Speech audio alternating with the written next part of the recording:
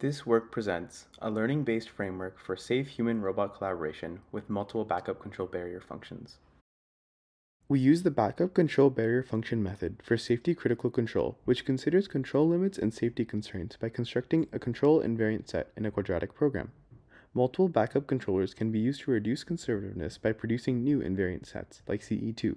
If control invariant sets are intersecting, we can potentially travel between them by switching backup controllers at appropriate times, like at point x1, where a switch between the first and second controller is visualized. A switching law must be developed to choose the correct backup controllers when they are needed. Thus, we use an LSTM deep neural network classifier to complete online switching. First, we gather data from the user, the environment, and safety algorithms and transform them into rewards for each backup controller. Next, our learning algorithm provides the controller with the maximum calculated reward, in this case KB1, to the backup control barrier function quadratic program using a predefined library of controllers. For our experiments, we use the following backup controllers with qualitatively different behavior. We present our experiments here. First, we show an example in which only one backup controller is needed. Notice that our framework maintains safety and does not inhibit the performance of past methods, which use a single backup controller or a simpler switching mechanism. Next, we present an example in which KB0 and KB1 are used.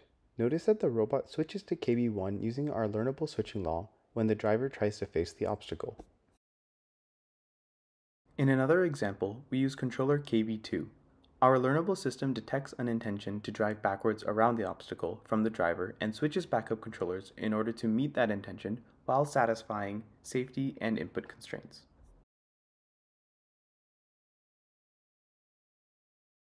Furthermore, we tested the repeatability of our results on hardware on many trajectories and compared them to the use of a single backup controller in multiple scenarios.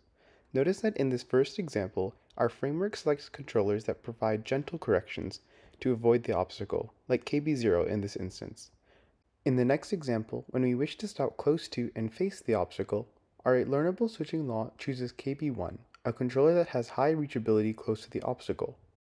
Finally, our learnable switching law also maintains gentle corrections compared to the other controllers when the robot moves backwards. In all cases, our learnable switching law does not choose controllers that would result in interruptions to the driver's intended path. In conclusion, this work presents two main contributions. First, we developed the switching law using intention estimation and showed experimentally that it correctly identifies desired backup controllers.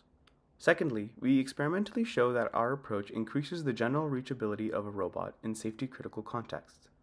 Furthermore, we verify backup controllers for the unicycle model on real hardware and confirm safety and input constraints are satisfied.